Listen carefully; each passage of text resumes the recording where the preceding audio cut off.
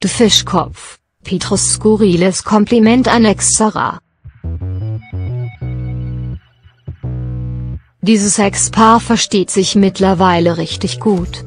Als sich Pedro, 25, und Sarah Lombardi, 25, im Oktober 2016 aufgrund ihres Betrugs trennten, sah es zunächst so aus, als könnte das Liebeshaus im Rosenkrieg enden.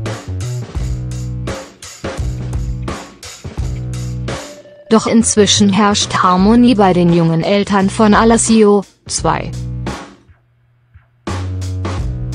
Da wird Weihnachten und Ostern zusammen gefeiert und auch kleine Botschaften werden in den sozialen Netzwerken ausgetauscht. So machte Pi seiner Ex jetzt ein ganz besonders skurriles Kompliment. Auf Instagram teilte Sarah vor wenigen Tagen einen Clip, in dem sie für ihre Fans eine gefühlvolle deutsche Ballade zum Besten gab. Von ihren Followern wurde die Sängerin dafür mit Komplimenten überhäuft. Auch von noch Ehemann Ptro gab es bewundernde Worte gepaart mit einem äußerst bizarren Kompliment. Respekt, du Fischkopf.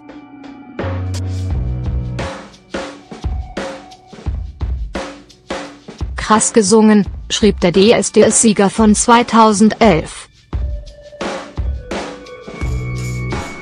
Fischkopf? Das klingt zwar wenig schmeichelhaft, ist von dem Musiker aber sicher freundschaftlich gemeint. Immerhin pflegen er und Sarah momentan ein richtig herzliches Verhältnis zueinander und kümmern sich liebevoll gemeinsam um ihren zweijährigen Sohn. Sogar den Nachnamen Lombardi soll die 25-Jährige laut Bitro nach der Scheidung behalten.